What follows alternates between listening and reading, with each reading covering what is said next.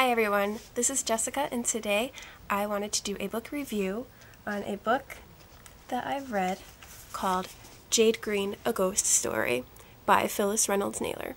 And this is actually my second time reading this book. I read it first a very long time ago when I was 14 in middle school, year 2002. So it was a different experience for me reading it then and reading it now. Um, so I have actually kind of a treat for you guys today. I'm bringing you two book reviews on this book. Not one, but two, and they're both by me because I actually have a review that I wrote for this book when I was 14. So it'll be interesting to hear, you know, what I thought about it at that age and what I think about it now, I think. Um, so this book is extremely, extremely, extremely short. You can read it in one sitting. This it's 169 pages. It took me maybe an hour and a half, two hours to read it. Um, it is such a great book, though. I loved it. Um, this book is about a girl named Judith, and it is the late 1800s, and her mother has just died in an, in, in an insane asylum, so she goes to live with her uncle Jeffrey in his mansion. He's like rich and whatever. So she goes to live with him, but on one condition. She cannot bring anything green into the house. She can't wear green, just no green, nothing. But she breaks the rule and brings in one green thing, and it is a green self picture frame given to her by her mother. And she puts it on the bottom of her suitcase, thinking if Uncle Jeffrey never sees it, what harm can it do? Boy, is she ever wrong. so it's um it's a really, really great book, and as the title suggests, it is a ghost story. So it's actually very, very scary. Um, this book I, is definitely aimed for for younger younger kids, probably between maybe 12 and 15, I would say. But it's still it's very creepy, very very creepy, like even for me. But I'm I'm a big baby anyway, everything scares me. But, um, really scary book, like, you know, not like super scary, but it's definitely enough to give you goosebumps and, and make a chill run up your spine. I actually, I want to read you guys a little excerpt from the book, if that's okay with you. Um, if not, then you could just turn the video off, but I promise you it, it won't give away any huge spoilers or anything. I just want to read this little part to you because it really creeped me out, to tell you the truth. Um, alright. As I turned to get up, I gasped in horror and my breath stopped, for there on my rug lay a hand, a human hand, a girl's right hand, detached from arm and body. I slid back on the window seat until I was pressed against the glass, my hands covering my mouth. I tried to scream, but my breath was gone, and no sound issued from my throat. I could only stare at the ghastly spectacle, the limp white fingers, the delicate wrist, and then the jagged stump on which dried blood was visible, the broken connection of bone and muscle and skin. More terrible still, the fingers suddenly began to move, the palm to lift, until it was standing upright like some strange primordial creature. And that's all you get. That's a little teaser but I just thought that was so creepy.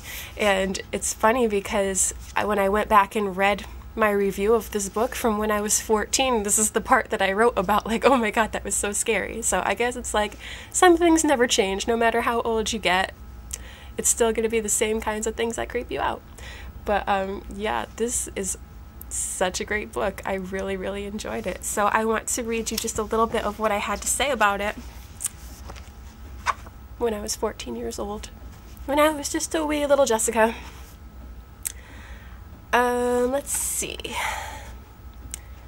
If you like suspenseful stories, then this is definitely the book for you. A lot of scary things happened, which is what made me not be able to put the book down. I wanted to because I was getting so freaked out, but one thing after another kept happening, so I had to keep reading. I think the scariest part for me was when Judith found Jade Green's hand crawling across the rug. The way it was described and how Judith was feeling, I wanted to scream. I got really scared.